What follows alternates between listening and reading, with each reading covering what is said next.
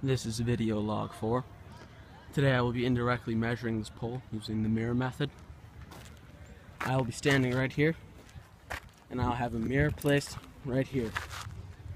I'll be creating two similar triangles to indirectly measure this pole.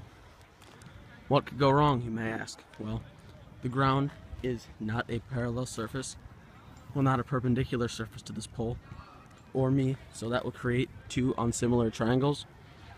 Uh, let's see what else. The sun changes position, so by me standing right here and looking into the mirror, reflecting up to there, that will not remain constant.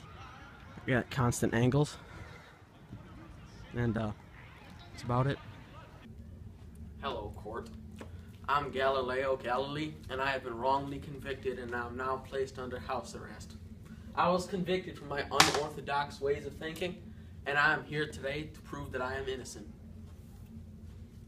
I was wrongly convicted because I had thought to myself that how come I can't, how come I have to climb all the way up this pole to measure how tall it is when I can actually use some properties of light and mathematical theorems to prove that this is just as tall as I actually measured it to be. Now, how am I doing this, you may be wondering. This was a pretty difficult task, but using a mirror which refracts light at the exact angle as which the light entered from my eye, as you can see right here. See? See? It creates two perfectly, perfectly congruent angles right here. And the object that I'm measuring right here, this here uh, baseball pole, is perpendicular to the ground. That creates a 90 degree angle. That is half of 180 degrees, FYI. My partner, Conrado Esteban. Hello. He was standing at a 90 degree angle, which is also half of 180 degrees, FYI. So, using the congruent triangles theorem of angle, angle, angle, I have proved that this angle plus this angle and that angle equal this angle, this angle, and this angle. And that is because all of the angles in a triangle add up to 180 degrees. And because of that, this plus this subtracted from 180 degrees is angle PEX right there. The same as this side where angle X plus angle B equals this angle right here. These angles being the same prove that these triangles are similar.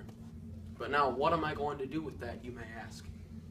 Well, using these proportions that me and my lab partner have figured out, we have calculated that, allow me to demonstrate, the proportion of 94 centimeters to 300 centimeters right here equals 186 centimeters. Felix, uh, no, Conrado. Hello.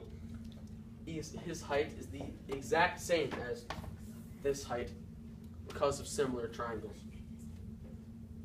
So using the proportion that we set up and using my new method of cross multiplication, we have devised and we have proved that angle, well not, pardon me, angle side A is 593 centimeters tall. That's pretty damn close to 590 centimeters tall. And if I do say so myself, we deserve to be let out of prison. Thank you. Hello.